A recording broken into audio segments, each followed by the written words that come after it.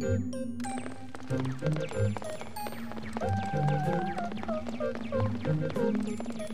you.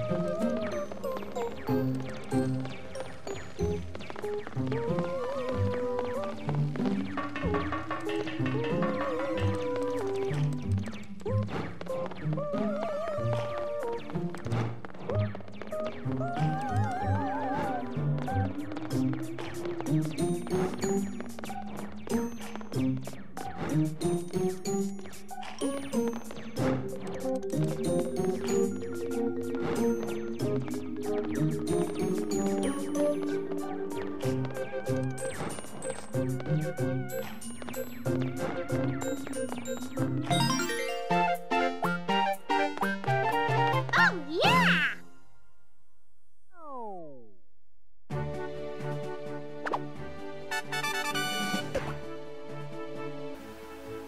So, mit dem Trick, indem man die Lampe ausschaltet, geht das eigentlich recht leicht. naja, und wisst ihr, was das Komische war? Heute Nacht habe ich geträumt, dass ich einen anderen Level, zwar nicht den hier, aber einen anderen Level spiele, wo genau die gleiche Bonusaufgabe war. Und ich war an diesem Traum verzweifelt, weil ich es nicht geschafft habe. Nur dann bin ich vor lauter Wut aufgewacht und dann habe ich gemerkt, ah, der eigentlich, der richtige Level ist leichter als der im Traum. habe ich etwa im Traum gewusst? Na gut, ich habe schon gewusst, dass dieser Level kommt. Es liegen ja ein paar Tage dazwischen. Seht ihr, Moment, ähm, ja, da 6. Und da 11. März. Ja, es liegen schon ein paar Tage zwischen den beiden Parts, aber naja, ist etwas komisch, dass ich genau in dieser Nacht, wo ich dann die Bonusaufgabe mache, davon irgendwie geträumt habe, oder? Naja, ist jetzt wurscht. Machen wir weiter mit Level 15. Rutschpartie auf der Neonrampe. Hey, das ist der Flipper-Level, den ich in einem, in einem Trailer gesehen habe. Ganz genau, das, das ist der Level, auf den freue ich mich ehrlich gesagt schon länger. Sehr, sehr toll. Passt mal auf. Und zwar, ähm, Ihr kennt ja wahrscheinlich Flipper, oder? Ja, das kennt ihr wahrscheinlich Leder. Und zwar, ähm, man schießt eine Kugel. So ein kleines Ding habe ich eigentlich auch.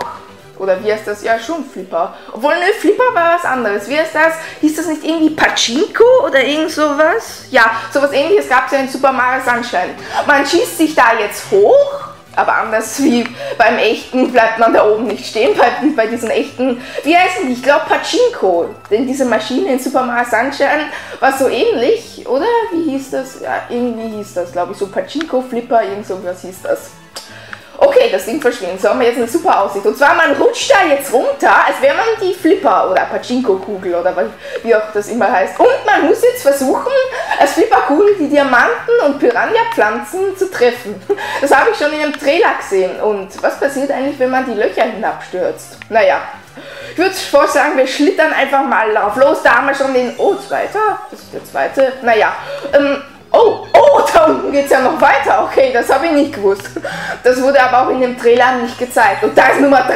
Wo war denn bitte Nummer 1? Obwohl, Nummer 1 habe ich auch schon in dem Trailer gesehen. Sieht allerdings recht lustig aus hier unten. Das Innere dieser Maschine. Naja. Also der, der Level ist super lustig. Da ist der erste. Ich habe ihn ja wie gesagt eh schon in dem Trailer gesehen. Aber da kommt man ja nicht rein. Ich habe irgendwo mal gesehen, da hat einer den Trailer, in, dem dieser Level vorgestellt wurde, untersucht und der gesagt, laut dieser Münzenreihe, ähm, wenn man muss in das Loch da reinrasen, damit man rübergeschossen wird. Da soll angeblich eine Kanone drin sein und Tatsache, da ist tatsächlich eine Kanone.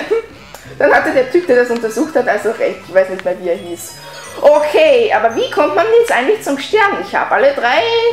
Hm, Sollen das etwa diese Schalter da sein? Seht ihr, das sind ja so fünf Knöpfe. Muss ich die etwa betätigen?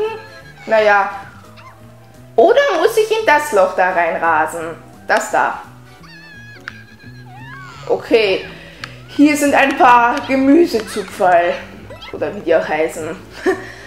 ähm, wie heißen die? Naja, irgendwelche, irgendwas aus dem Boden rausziehen. sind ja keine Zuckerrüben. Okay, da war nicht viel. Naja, aber was ist da links in diesem kleinen Tunnel da? Seht ihr da? Da ist ja so eine Art kleiner Tunnel. Seht ihr da? Da links. Ist da was? Münzen, Münzen, Münzen, Münzen, massenhaft Münzen. Ich glaube, die Bonusaufgabe hier lautet, sammle Münzen, oder? Bestimmt, oder? Da bin ich mir jetzt ziemlich sicher. Also rutschen wir da gleich nochmal durch. Aber die Idee von dem Level finde ich super lustig. naja, okay, aber wie kommen wir hier jetzt eigentlich wirklich weiter? Toilette in einem Flipper drinnen. Oder Pachinko oder wie heißt das? Flipper ist es glaube ich nicht. Flipper sind ja diese Maschinen mit diesen Flippern eben dran. Aber das hier ist, ähm, okay, da war jetzt so ein, der hat sich jetzt anders gefärbt. Das habt ihr gesehen? Ich glaube wirklich, um weiterzukommen, um das Gatter zu öffnen, muss man alle diese Schalter da drücken.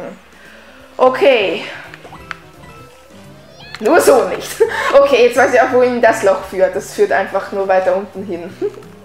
Aber die Idee von dem Level ist einfach super, super lustig. Naja. Okay, geben die Piranhas eigentlich auch Münzen? Ja, die geben auch Münzen. Oh, und die Schalter auch. Okay, ich glaube, die Aufgabe lautet wirklich Münzen sammeln. Dann hoffe ich mal, dass ich genug habe. Hm.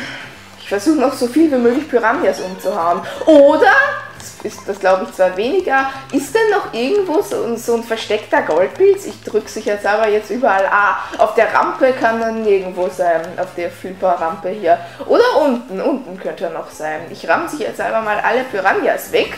Ja, sicher ist sicher. Denn, naja, 120 Münzen. 120 ist ja die entscheidende Zahl, denn ihr wisst ja in Super Mario Sunshine, Super Mario 64, Super Mario Galaxy, da gab es überall 120. 120 war da überall die magische Zahl. Na toll, die, die Rutschpartie war aber nicht wirklich gut. Aber der Level ist voll gut, macht super Spaß. Und die Idee ist, wie gesagt, hervorragend. Und ah, soll ich diese Ant Trooper, so heißen die übrigens auf Englisch, diese Ameisenviecher da, bringen die auch Münzen? Okay, jetzt habe ich keinen erledigt.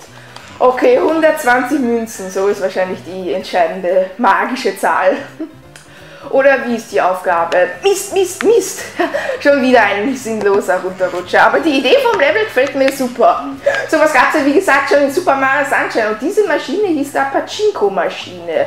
Heißt das jetzt Pachinko oder Flipper? Flipper hat doch, glaube ich, diese komischen Dinger, wie in Super Mario 64 DS, diesem Minispiel. Aber wie heißt das jetzt? Okay, ich vermute, der mittlere ist dann wahrscheinlich grün. Die Regenbogenfarben. Von rot bis gelb, bis grün, bis blau und, naja, ja, ganz genau grün. Okay.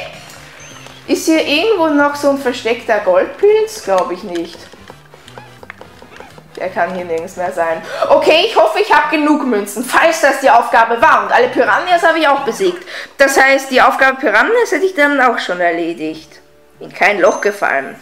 Das kann man aber gar nicht gleichzeitig mit dem, mit dem, mit dem Dingsbum schaffen. Aber das klingt nicht schwer. Probieren wir es nochmal. Und ich habe die ganze Zeit umsonst Münzen gesammelt. Kann man aber gleich, gar nicht gleichzeitig mit den Diamanten schaffen. Aber die Idee von dem Level gefällt mir super. Gefällt mir super. Klingt komisch irgendwie, oder? Naja, ist jetzt wurscht. Wurscht. naja. Aber wirklich gesagt. Na toll. Das ist jetzt gar nicht so leicht. Vor allem das grüne Loch wird da nicht leicht sein. Äh, der grüne Schalter. Aber das müsste machbar sein. Und ich habe die ganze Zeit umsonst Münzen gesammelt. Hier gibt es ja auch wirklich viele.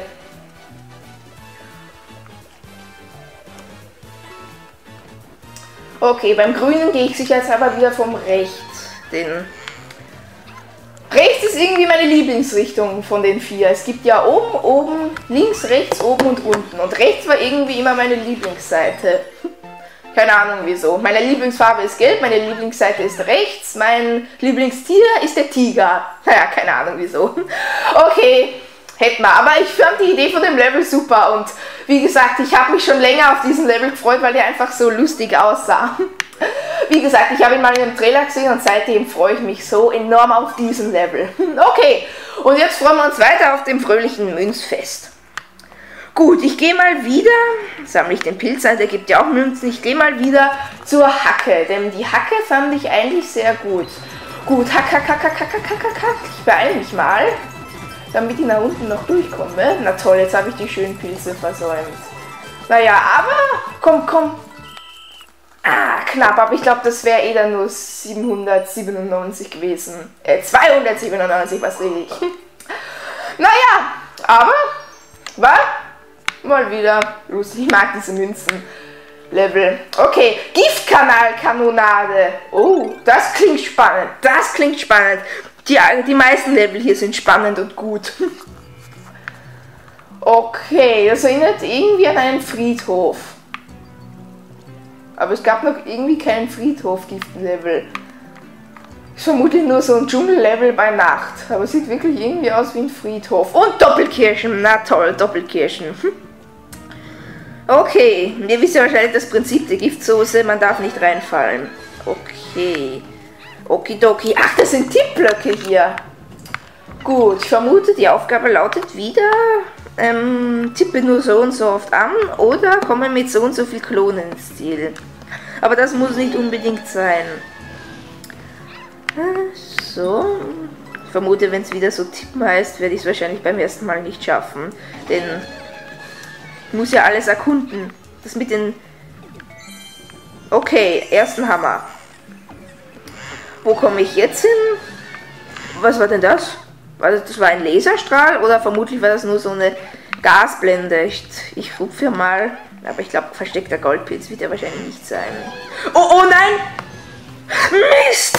Das war aber fies. Das war fies. Aber die Level gefallen mir in diesem Part. Obwohl fast in allen Parts gefallen mir die Level. naja. Super gute Level. Okay, ich sehe da hinten schon so ein Dreierfeld. Aber das war echt fies mit den Kanonen. Naja, aber hätte ich mir irgendwie auch denken können. Moment, diese Fuzis da. Wieso sind mir die. Wieso fallen mir die erst jetzt auf und wieso sind sie mir vorher nicht in die Quere gekommen? Fragen über Fragen. Naja. Okay, das fährt da vor. Vielleicht war das eh gut, dass ich das da jetzt vorgeschoben habe. Nein! Backe, Backe Kuchen. Es sind diesmal wieder lustige Fes dabei. Die kommen 100 Pro ins Best-of. Ist hier irgendwo ein Goldpilz? Kann ja sein. Gut. Aber der Level gefällt mir. Kommt nur mir das so vor, das sieht ja wirklich aus wie ein Friedhof.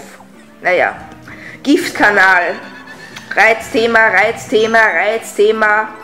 Naja, hm, ich möchte nicht erwähnen, warum das ein, ein Reizthema für mich ist.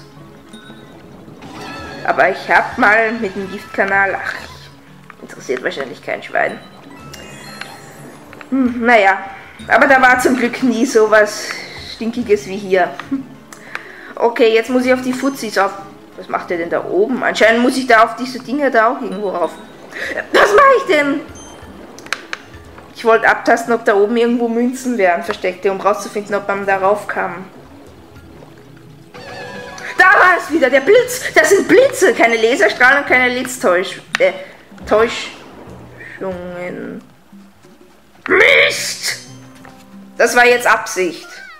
Mist, Mist, Mist, blöde, blöde Fuzis. Die haben mich schon immer genervt. In Super Mario World, in Paper Mario, im New Super Mario Bros. Wii, in Super Mario 3D World und jetzt auch hier. Blöde, blöde, blöde Fuzis. Okay. Aber die Idee von dem Level gefällt mir. Das sind also Kanäle. Jetzt wird mir das erst klar. Das soll kein Friedhof, sondern ein Kanal darstellen. naja. Gut. Wir wissen jetzt schon, wir brauchen drei. Oder? Brauchen wir noch mehr? Vermutlich nicht. Drei werden wahrscheinlich reichen. Aber Toll. Äh, ich vermute, die Aufgabe lautet, komme mit 4 ins Ziel. Hm, jetzt habe ich schon wieder vergeigt. Oder?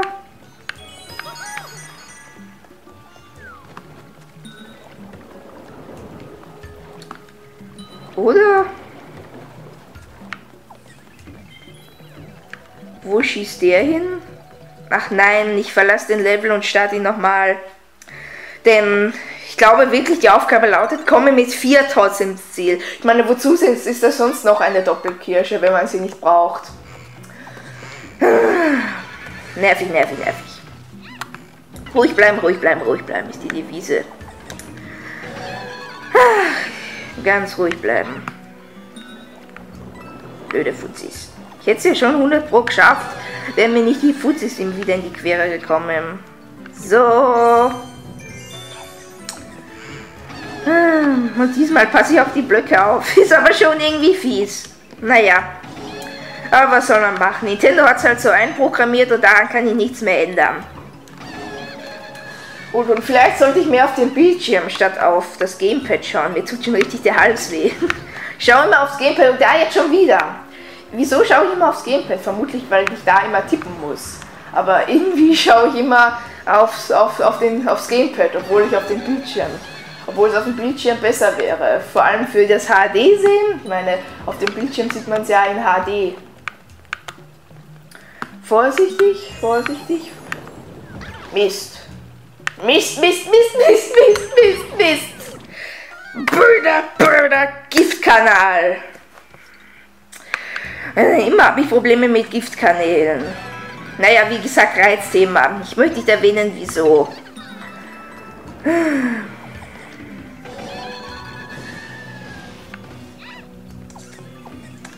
Aber wozu sind da denn wirklich so viele Doppelkirschen? Wieso sind da vier, wenn man nur drei braucht? Die, die Klone stehen aber meistens etwas blöd.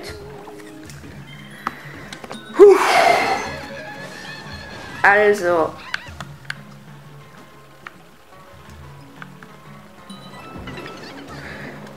Mist, Mist, Mist, Mist, Mist, Mist, Mist, Mist, Mist, Mist! Mann, jetzt werde ich langsam müde. Na toll, jetzt ist da schon wieder dieses Rupfdingsbums. Ihr wisst ja wahrscheinlich, was das bringt. Das ist wie der goldene Tanuki aus New Super Mario Bros. 2. Das taucht auf, wenn man zu oft abstürzt. Das ist so ein Regenbogenpilz, da ist man dann unverwundbar, wie beim goldenen Tanuki. Ach, das ist schon recht nervig. Hm, kann man da nicht irgendwie auch anders rankommen? So. Upsa. Okay. Alle in eine Reihe. Hervorragend. Das war gar nicht schlecht. Jetzt muss ich ganz aufpassen. Nein, nein, nein, nein, nein, nein, nein, nein, nein, nein, nein, nein, nein, nein. Blöde, blöde, blöde, blöde Fuzis. Blöder, blöder Giftkanal. Blöder, blöder unverwundbar Pilz.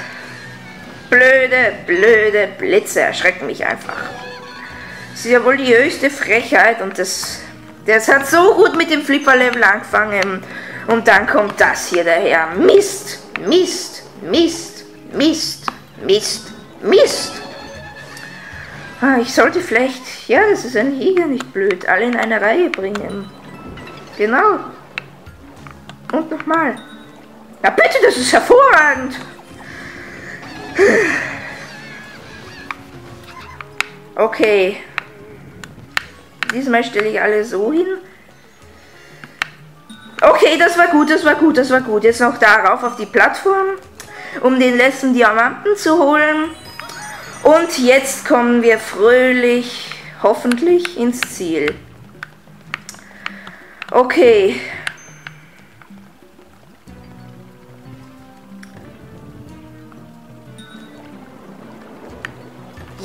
Und ich vermute, die Aufgabe war wirklich das. Aber wozu war jetzt diese letzte Kanone? Keine Ahnung. Ja, Tatsache, das war die Aufgabe. Ich hab's noch geahnt. Aber ihr seht, diesmal war mein Riecher richtig. Puh, na, ich bin froh, dass ich das hinter mir habe. Naja, also bis zum nächsten Part. Tschüss.